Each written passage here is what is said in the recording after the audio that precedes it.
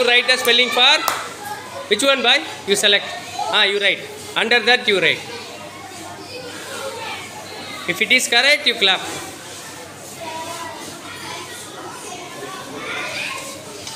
Wow!